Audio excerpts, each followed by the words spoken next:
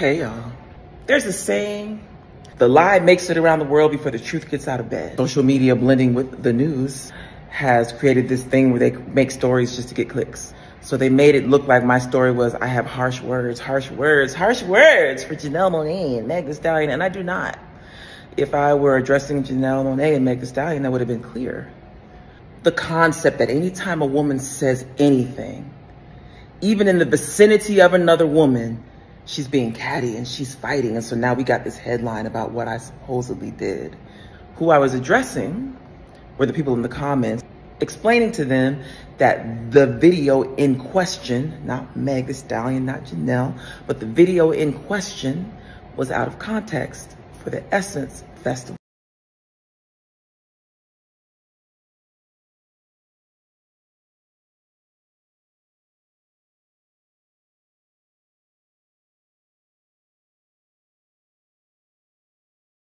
Essence is a 53 year old institution that was always about wholesome black entertainment. The brand shifted right under people's feet.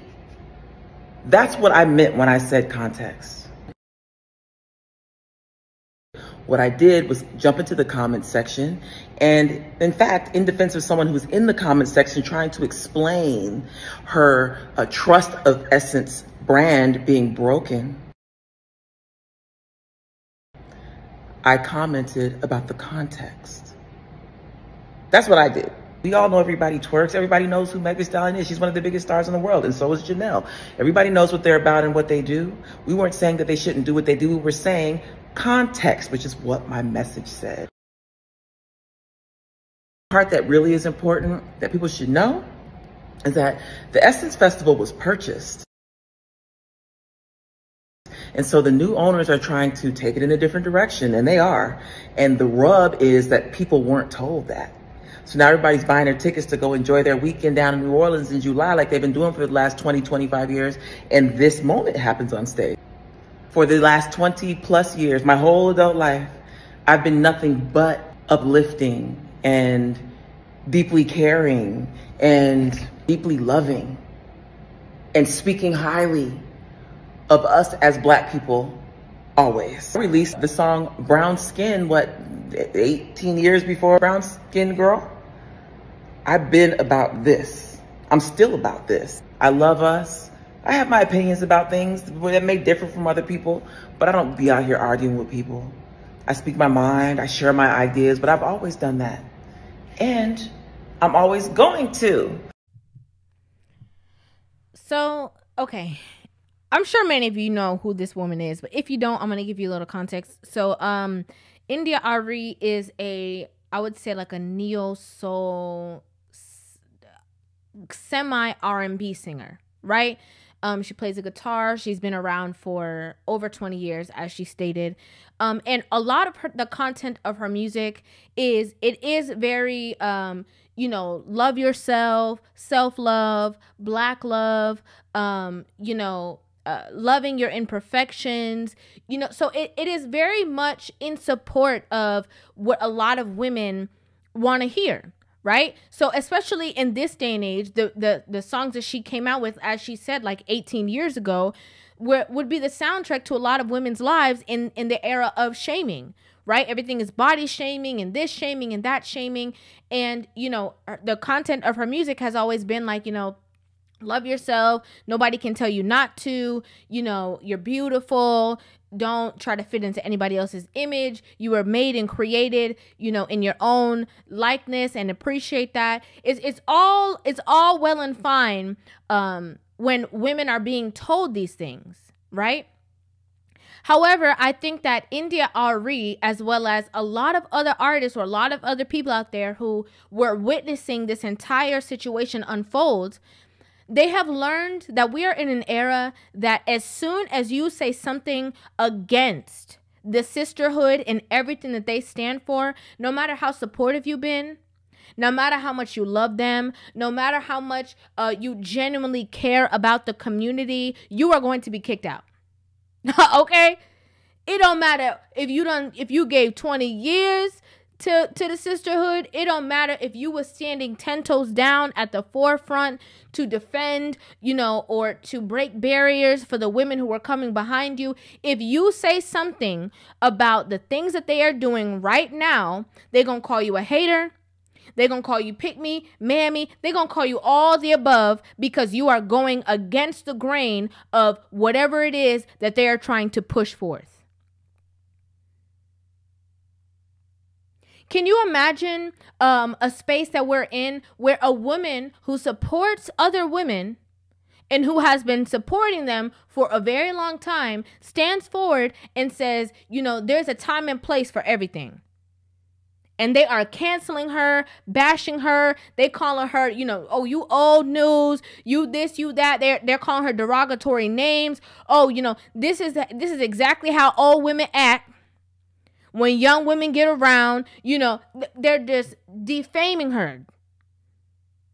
The, the shame that they're supposed to have that they don't have, they're giving it all to her. They're shaming her for standing up for class, for standing up for respect,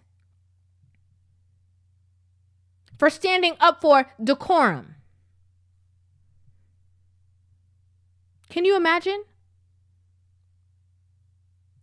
The whole the whole situation was is that um Essence Festival, as she was saying, it goes on. It's been going on for a long time. I, for many of you who do know about the Essence Fest, it is a place where a lot of, um, you know, black artists, creatives. They all get together. They enjoy this entire festival. There's music there. You know there are um, actors and actresses that attend. You know it's a whole celebration of the culture. It's very classy. It, as she, as she noted it's, it's something that you know people can get together as a as a um uh, a festival and they can fellowship with one another. They have panels. They talk about hair care. Like there's it's a whole thing at this said festival there were artists there, and we saw the video of the women who were bent over, turned over on stage where there's families, there's children, you know, there's groups of people who are there who are witnessing these people turn around and twerking on stage.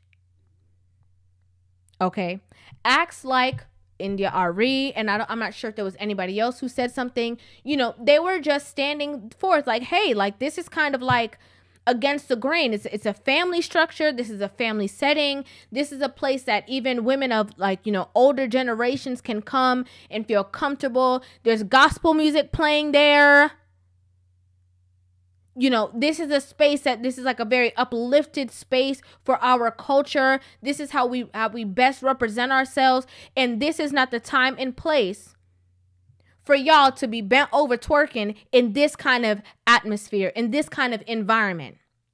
People say she jealous, she a hater, she throwing shade. She needs to just be quiet. She, you know, some people don't need to be on the internet talking about other people, like dragging her. For what?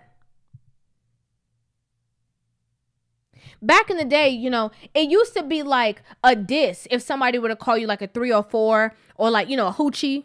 You know, you call somebody a hoochie, like you get in some real trouble. You go, oh, I can't believe she called me a hoochie. I'm telling you know, back in the day, it was like a very like disrespectful disregard. Like you don't want nobody to say that you, you know, was sleeping around. You don't know, want nobody to address you in a certain manner.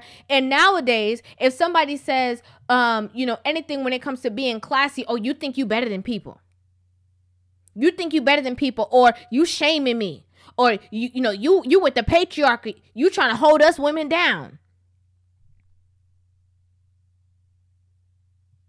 I don't get it. I'll never get it.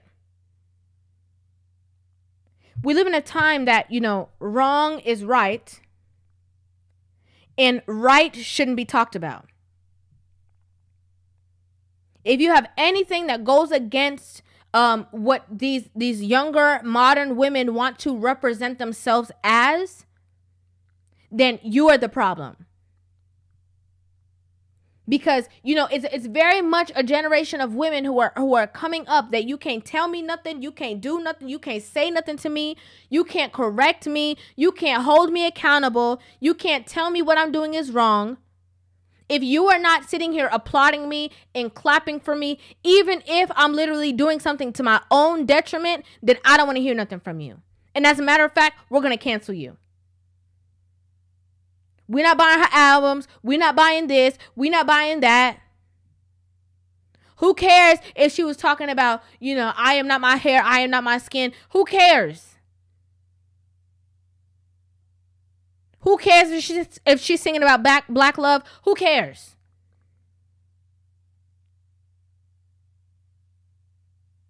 You know, and and I want to say this too. We're in an era where a lot of women, artists, creatives, singers, they I don't know if they don't necessarily understand the magnitude of the situation of what's going on within relationships right now. But you see, um, people like India Arie and like certain artists, they sing about um love and and connection and the genuine feeling between two people right? It's not just about like, oh, you know, he whack, he lame, he this, he that. It's not just about I'm gonna sit on it, I'm gonna bounce on it. Like it's about like real love.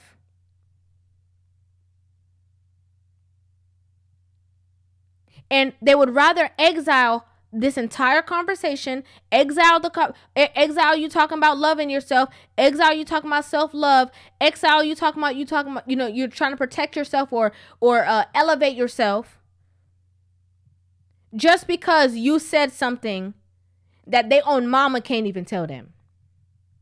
My mama can't even tell me to do tell me what to do. Who are you?